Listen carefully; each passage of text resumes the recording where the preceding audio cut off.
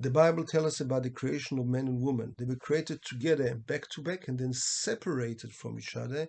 And only man was told, Please, I'm telling you, do not eat from the tree of knowledge of good and bad. But Eve was pushed by this by the primordial snake, telling her that you cannot even touch it.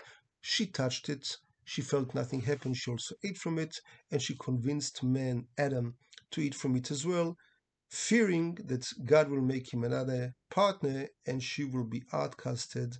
So, out of her own fear, she pushed him to do it. He did it as well. He was tempted, and both of them were thrown out of the Garden of Eden.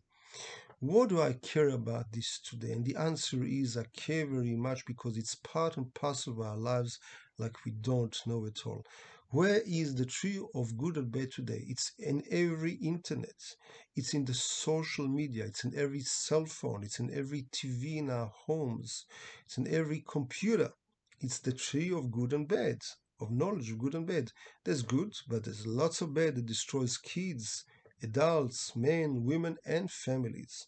And where is the tree of of life that if we eat from it we live forever forever and that is in the bible once you study the bible the bible given through moses in front of three million people given us till today. You eat from the tree of life and you can live forever. God bless you all